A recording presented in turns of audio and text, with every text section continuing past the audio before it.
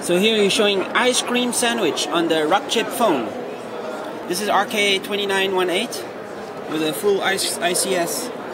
This is just still uh, testing or testing for now, yeah? Uh, th uh, this is for testing and uh, we will ready and this in the first quarter for ICS for, for smartphones.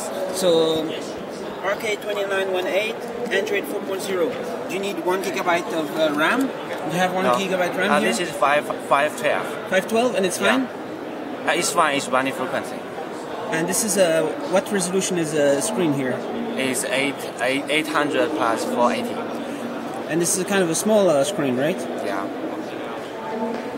The screen is 5.5, uh, 3.5 inches. 3.5 inch. And this is in the market now on China Mobile. Uh, yeah. This It is- device? Not yeah, ICS, it's, it's but a- this device, yeah? yeah. So how soon is the ICS uh, finished, ready? For the ICS, I think it's, it's ready, but it's not uh, released yet for this product. Nice. Yeah. So since when do you have this working? ICS. Uh, this working uh, during the, yeah one month ago, December, the beginning of December. nice. This uh, phone is can be less than one hundred dollar, no? Yes, and it has a CMMB digital TV function. Which is uh, digital only in China? Or Yeah, only in China. Only China. Yeah. All right.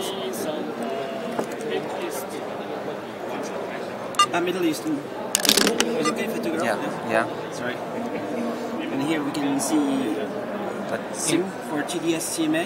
Yeah. CMA. Battery. Yeah, Nice. and camera and SD card. Nice. ICS.